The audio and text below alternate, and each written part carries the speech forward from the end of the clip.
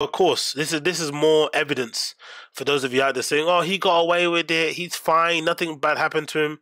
In my opinion, this video is another good example as to why Chris hasn't got away with it, because he's now having to rely on someone like Brendan for his salary when he clearly, clearly, clearly, clearly dislikes the man, especially the way he kind of acts and touches him and shit. It's not something that he enjoys. He doesn't enjoy this sort of humor.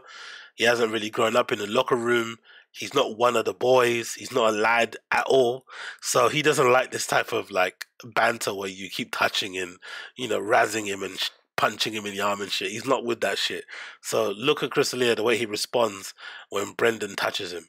York. A that mess. girl that Oh. called New York. She was. She had her own show. Yeah, the she did. She show, was the, the, worst. thing, this. Ev- Of course, I- Flavor Flav is Remember the Brett terrible Brett at Brett uh, what's it Bret Michaels show? Yeah. No, what I would love Rock about this, flop. uh, Flavor Flav was like he went up there You've like that, me and all so of a sudden he was like, you know, episode. It's your haircut. if he was to sing, period. It's even hard for me. One more time. You touched me so many times this episode. You fucking hated that.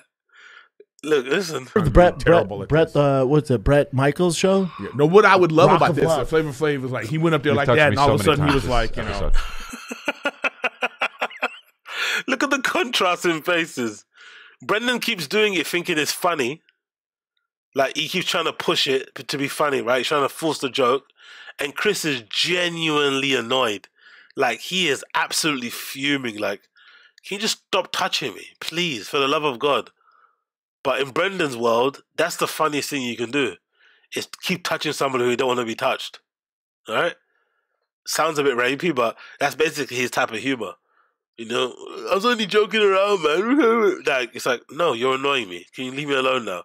And to be honest, this is the perfect kind of um, contrast or the perfect representation of why one person was funny at a time and why Brendan would never be funny. Because Chris has always been like an, an artist, right? He's always been a little bit of a, of a, you know, of a sensitive soul in that regard. And Brendan's always been like an athlete, right? He's always been in locker rooms, a bit of a jock, a bit of Neanderthal, hanging out with the lads. And this is this humor works. This humor will go down a treat in most dressing rooms, right? Where you're constantly just poking at somebody until they snap. When they snap, it's funny. And if you guys fight, it's even funnier. He's used to that kind of humor.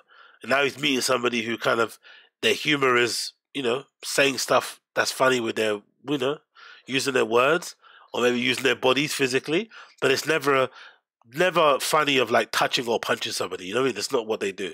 So this is maybe the perfect um, example of like why one was funny at one point and one will never be funny at one point. It's your haircut. if he was to sing, period. It's Any- even hard for me. you know what I mean? Jose does that star Oh spangled banner, crowd going woo woo. That's what we really have to start doing. Oh, you know I would. Are you kidding? Yeah, you do good. Dude, I would do Eric so would many do runs. this. Jesus Christ, the touching, bro. That would drive me. Cra- and again, I don't necessarily care, but if I'm somebody that does care, it will drive me crazy. I'm not someone that gets too like annoyed. It's like people like you know people that get annoyed by, oh, you don't say my name correctly. and All that stuff. That doesn't really bother me too much. Um, and the touching thing, I'm not really that bothered about either. But if you are somebody that doesn't like getting touched, you're very particular about that, and you're very clear when you don't like getting touched. You recoil. You make it clear.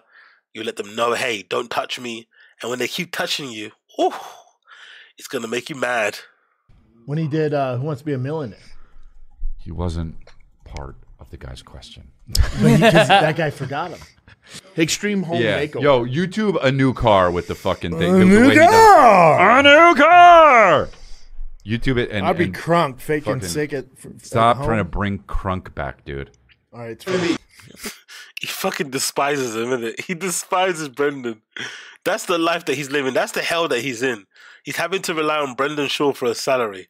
Look at his face. It's like, I was on top of the world at once. I did that show, Whitney. I was on Netflix. I was on you. Like, can you imagine? He was on you. You is maybe the biggest. It might be the biggest original Netflix show, isn't it, at the moment? Or no, what's the other one? The uh, why I forget the other one? The one with the kids, where they're hunting ghosts and shit. But you is in that group. There's probably ten shows on Netflix that bring them the most money, right? The ten original shows that they've made, and I think you was definitely one of them, and he was on there. That's a big role to land, you know. Like, no, you know what I mean. He probably had to go against a lot of people to play that pedo role, and he played it. You know, he probably smashed the. F- uh, you know, what I'd love to see. I'd love to see Chris D'Elia's fucking audition tape for you. They'll never drop it, but that would be a bomber. That would be a blockbuster thing to see. Like his fucking no, or that would be Netflix to see actually. His fucking audition tape for you. I'd love to see that. He's probably sitting there thinking, I'm never gonna go back to the Netflix studio ever again. I'm never gonna be able to go to Warner Brothers, to Sony, whatever. Like, wow. Pretty's not. No, fake. J- J- Jeopardy's not fake.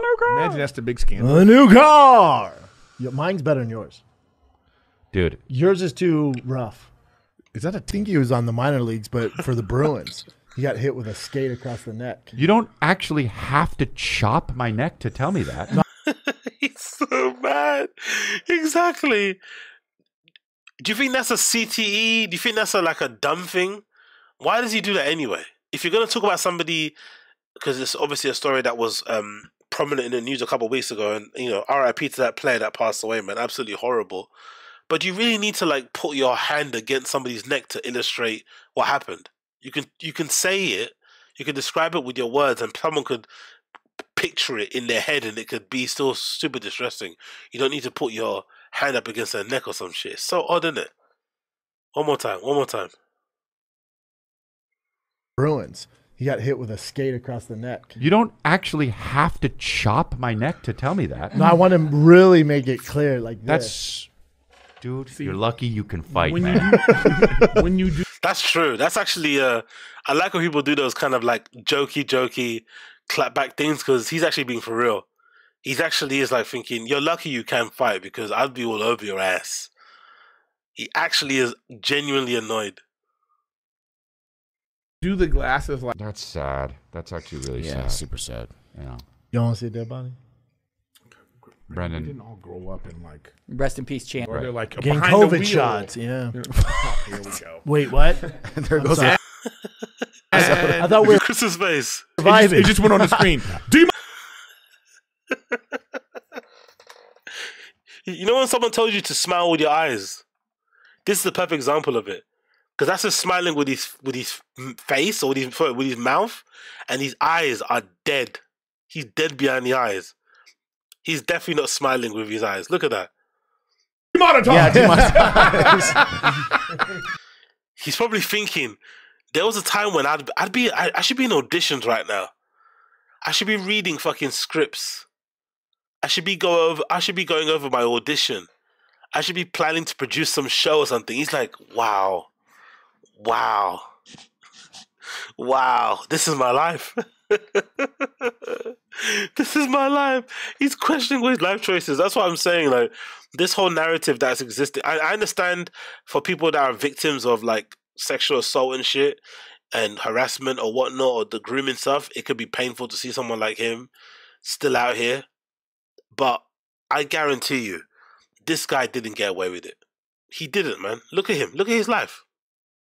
This is not what getting away with it looks like. I don't care. So that's fucking crazy. And it's also interesting. I've always said this before.